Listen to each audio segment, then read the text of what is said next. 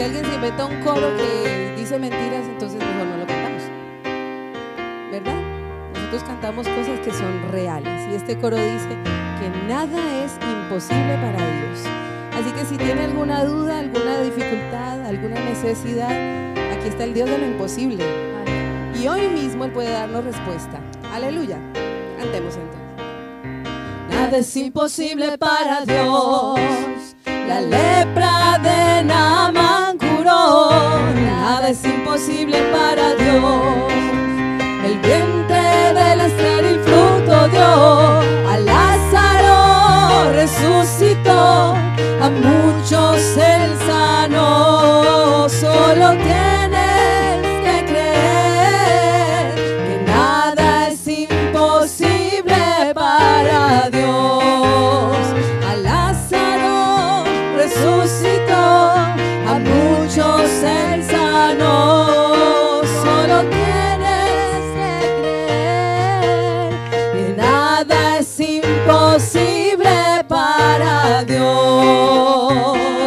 es imposible para Dios. La lepra de Naaman curó.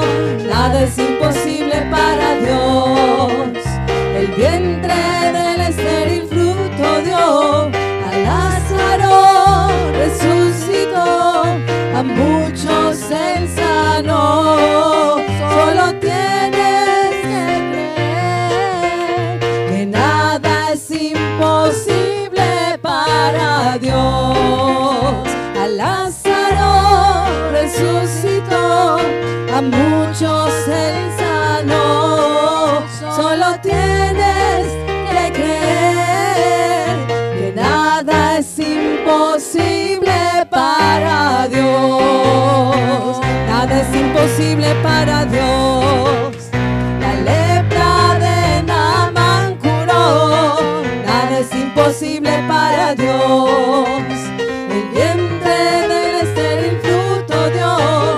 A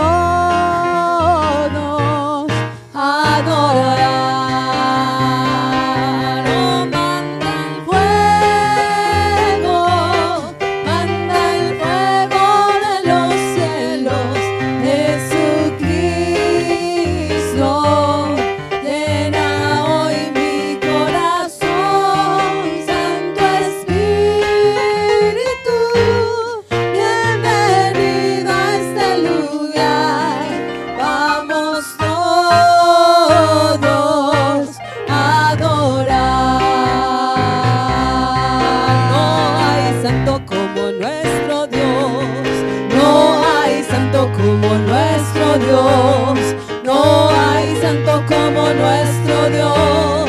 el Señor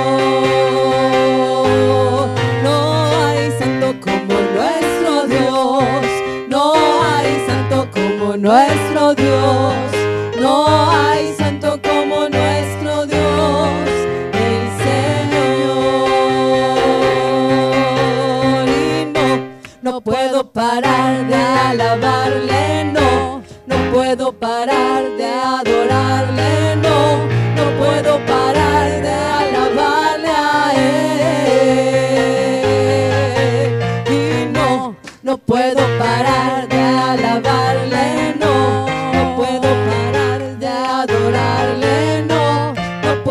para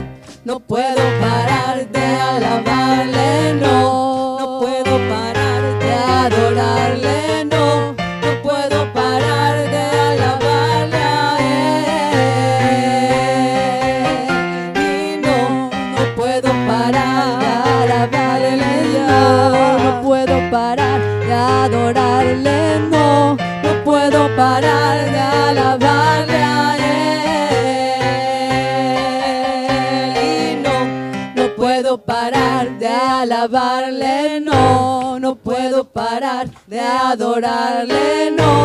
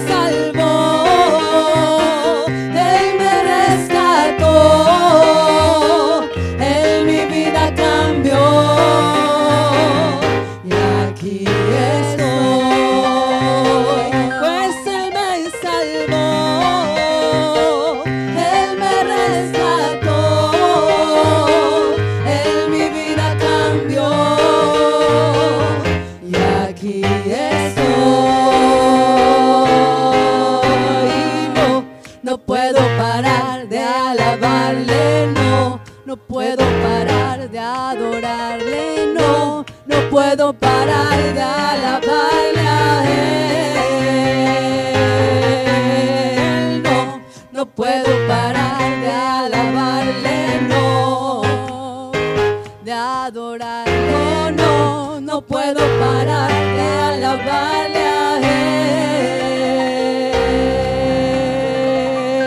él, aleluya. Te alabamos, Señor, te glorificamos, Jesús. Aleluya, merecen la gloria y la honra. Antes de que nos sentemos, quiero invitarles a que hagamos una oración por nuestras peticiones. ¿Quiénes tienen peticiones en esta noche? ¿Quién tiene alguna necesidad en especial? ¿Alguien tiene dos necesidades que quiere presentar delante del Señor? ¿O tres? ¿O más? Él está aquí y Él conoce nuestras necesidades. Y Él conoce nuestro corazón también. ¿Y qué pide el Señor de nosotros? Y pide fe, pide que tengamos fe. La Biblia dice que un corazón contrito y humillado el Señor no lo desprecia. Así que si con humildad nos presentamos ante Él, Él escucha nuestra oración. Oremos por la petición que cada uno tiene, pero presentemos también la de nuestros hermanos. Oremos los unos por los otros y el Señor nos va a dar grandes victorias. Amén. Señor Jesús, estamos delante de ti. Para alabarte, Señor, para agradecerte, mi Jesús. Para reconocerte que tú eres el único Dios, grande, bueno, fuerte, Señor, y poderoso eres tú. Hay otro como tú, Señor, que merezca la gloria y la honra. Solo tú eres Rey de Reyes y Señor de Señores. Tu iglesia reconoce el poderío que hay en ti, Señor. Que no hay otro como tú, que estás por encima de todo, Dios. Con esta fe que tenemos y conocerte, Señor, queremos presentarnos delante de ti. Con nuestras peticiones, Señor, con nuestras necesidades, mi Dios. Oh Dios, necesitamos de ti, dependemos de ti, mi Dios. Necesitamos de ti, Señor, que respondas hoy nuestras necesidades, nuestras peticiones. Dios, mira cada uno de mis hermanos, cada necesidad, la que conocemos y las que no, Señor. Estamos delante de ti para alabarte y glorificarte. Sabemos, Señor, que tú has de responder en tu voluntad, Señor. Mira cada hermano que está enfermo, cada necesidad que hay en los hogares, en las familias, Señor, en nuestra iglesia en general, en jóvenes, en niños, en nuestros ancianos, oh Dios. Míranos hoy, Señor, y ten misericordia de nosotros. Escucha nuestra oración, Señor, y respóndenos. Hay todo poder en tu nombre, Jesús. Gracias, Señor. Aleluya. Pueden sentarse, hermanos.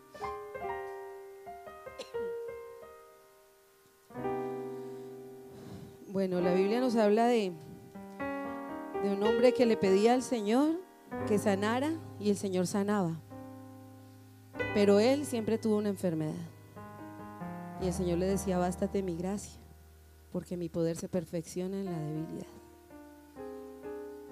A veces nosotros nos sentimos enfermos o nos sentimos mal, tenemos alguna dificultad, pero eso no impide que oremos por los demás. Puede que este no sea el momento de mi sanidad, pero que sí sea el del momento de la sanidad de mi hermano, de mi hermana, ¿verdad? Ustedes me escuchan y hoy me he sentido otra vez afectada en el, aire que me falta. Eh, la doctora dice que es normal porque me falta el hierro y el hierro lleva oxígeno y el oxígeno lo necesitamos para hablar, igual que para todo lo demás que hacemos. Entonces me falta, pero yo sigo confiando en el Señor. Amén. Yo sigo confiando. Es bueno que tengamos fe. La gente que pierde la fe se muere, se muere, no tiene esperanza alguna. Y eso es triste. Nosotros tenemos grandes victorias por ser hijos de Dios. Solamente la fe en el Señor, esa esperanza nos mantiene vivos. Así que si a alguien le falta fe, le puede pedir a Dios que le dé. Y si alguien siente que tiene poquita fe, le puede pedir a Dios que se la aumente. Eso se puede, está permitido. Podemos hacerlo. Amén. Bueno, yo quiero aprovechar que tengo el micrófono en la mano y pues no le he pedido el permiso al pastor todavía, pero eh, es, un anuncio de obra social que tenemos y queremos empezar a, decirles de una vez, eh, hermanos y hermanas. Sucede que, ¿cuántos de ustedes han pasado por una situación difícil en su vida? Difícil económicamente. ¿Sí? ¿Y se acuerda de esos momentos difíciles por los que ha pasado? de ese momento en el que usted no sabía porque de verdad metía la mano al bolsillo y no había de dónde. Esos momentos pasan, ¿verdad? Llegan, llegan a nuestra vida. Y a veces cuando salimos de ellos se nos olvidan. A veces se nos olvida. Hay gente que olvida que pasó por necesidades. Y cuando tiene posibilidades, incluso se porta mal con los que tienen necesidades, porque olvidan que alguna vez ellos pasaron por ahí. Hay otros que cuando salen de la necesidad se acuerdan mucho y entonces tienen un corazón para ayudar a quien está pasando una necesidad. Muchas veces nosotros quisiéramos ayudar, pero no nos enteramos que alguien necesita ayuda. ¿Cierto que sí? Y a veces cuando nos dicen, uno dice, pero ¿por qué no dijo? ¿Por qué no pidió ayuda? ¿Por qué no me avisó? Yo hubiera hecho algo. ¿Cierto? A veces pasa. Entonces, como esta iglesia es una familia grande, les queremos anunciar, este año vamos a, a hacer unas recogidas de pronto más constantes que el año pasado de la canasta de amor, lo que llamamos canasta de amor, que son, son elementos de, mercado, eh, alimentos y, ¿cómo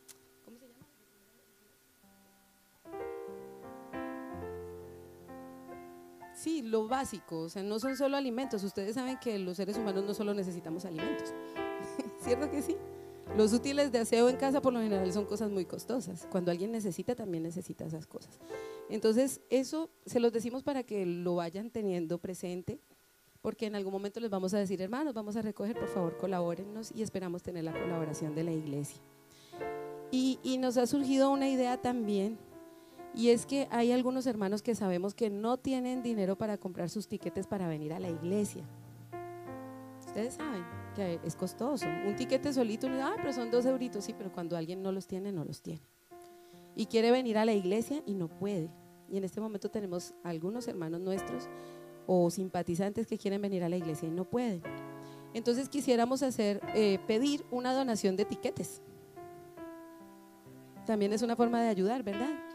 Yo sé que muchos de nosotros tenemos ya nuestra tarjeta del transporte, pero muchos guardan tiqueticos ahí por si de pronto en algún momento se necesita.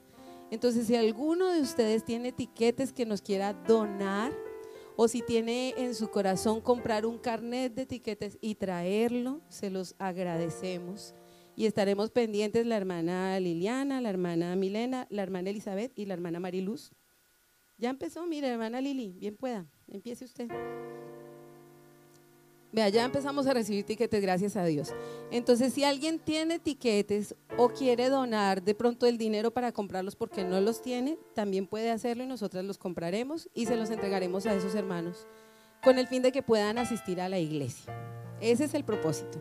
Donarles, ya lo hemos hecho antes, pero nunca lo habíamos hecho desde aquí, no públicamente. Lo hemos hecho antes que alguien nos dice, quisiera ir a la iglesia, pero no tengo para los tiquetes y ya lo habíamos hecho entre algunos hermanos, pero esta vez queremos avisarles a todos para que todos tengan la oportunidad de participar y ser bendecidos a través del dar. Recordemos, hermanos, siempre que es más bienaventurado dar que recibir. Amén. Yo agitada y encima hablo rápido.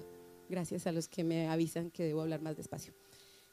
Entonces, estamos pendientes. Por lo pronto, la canasta todavía no la estamos recogiendo, pero sí los tiquetes usted esta noche o mañana que va a pasar por un agar, por una estación, acuérdese que estamos recogiendo tiquetes y lo que el Señor le ponga en el corazón puede traernos en tiquetes y vamos a estar muy agradecidos y esos hermanos que los van a recibir van a ser bendecidos a través de su colaboración.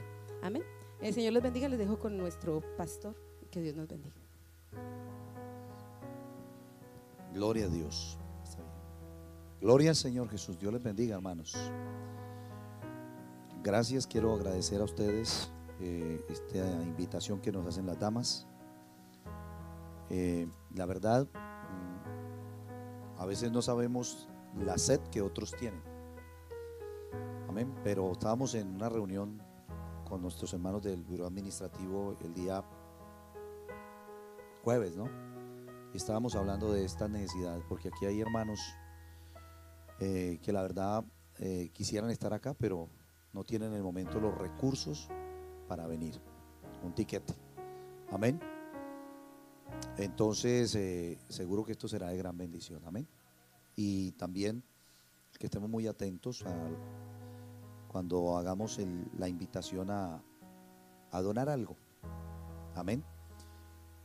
Para nuestros hermanos, que seguro será también de gran bendición. Yo agradezco eh, al Señor por la iglesia generosa y por las damas que están encargadas también de, ayudar en estos, en estos asuntos con compañía de nuestros hermanos de la Junta Local. Ese es un deber cristiano. Amén. Es un deber cristiano.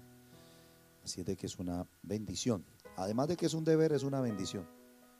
Es una bendición poder eh, ayudar. Gloria al Señor. Vamos a cantar un cántico antes de entrar en la reflexión de la palabra del Señor. Les doy la bienvenida a todos, a todos los valientes, porque necesita valentía y amor para estar aquí hoy, ¿no? Amor a Dios, mucho frío, mucha lluvia. Hoy hemos estado aquí como bajo cero en este salón, mucho frío hoy, pero bueno, gracias a Dios que aquí estamos. Hermanos, la próxima semana, viernes sábado y domingo. Tres días de ayuno aquí. Amén. Como usted los quiera hacer. Si quiere hacer los tres días seguidos, le cuento que hasta la salud le mejora.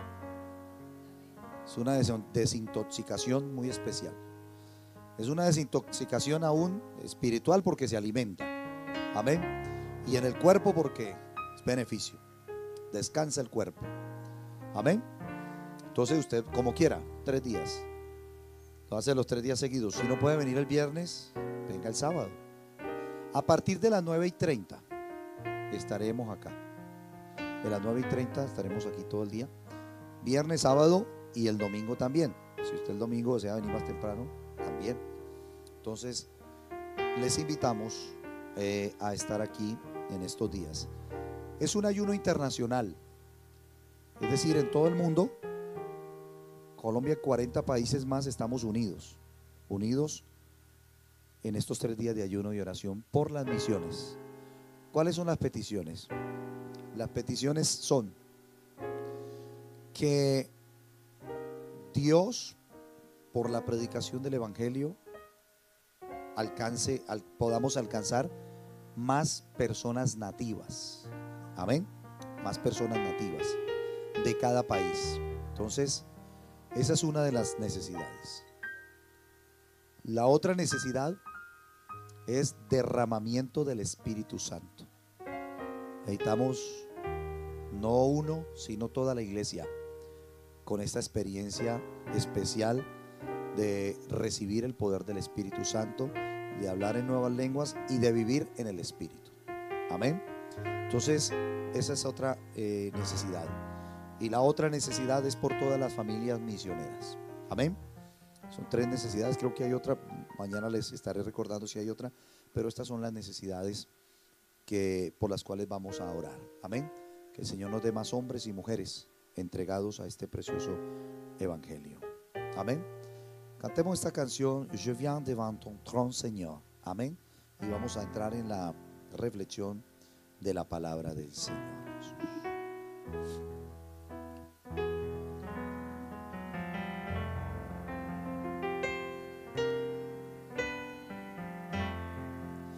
Je viens devant ton trône, Seigneur, pour te contempler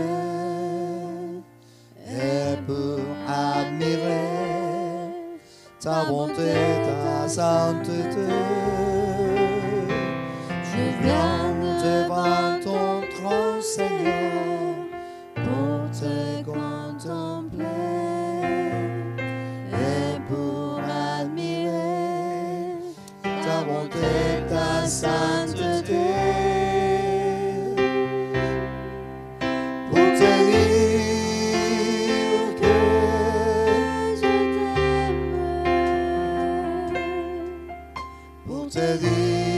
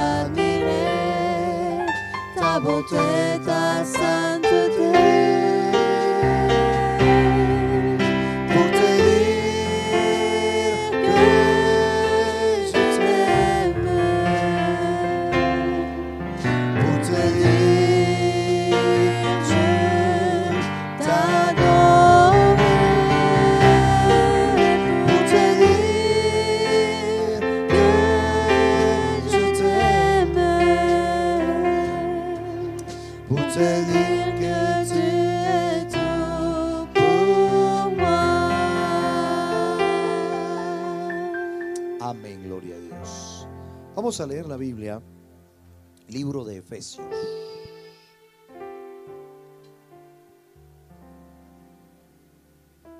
Libro de los Efesios, capítulo 1, por favor, vamos a leer. Bienvenidos todos, hermanos, nuestras hermanas que vienen de la Normandía. Bienvenidas. Amén. Amén. Bienvenidos todos nuestros amigos en esta hora. Nuestros hermanos francófonos, bienvenidos. Amén. Bienvenidos siempre a este lugar de adoración. Amén.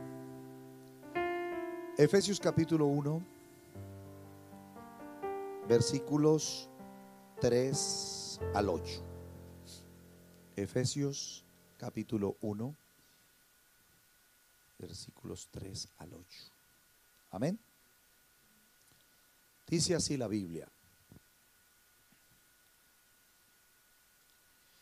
Bendito sea el Dios y Padre de nuestro Señor Jesucristo, que nos bendijo con toda bendición espiritual en los lugares celestiales en Cristo, según nos escogió en Él antes de la fundación del mundo, para que fuésemos santos y sin mancha delante de Él, en amor, habiéndonos predestinado para ser adoptados hijos suyos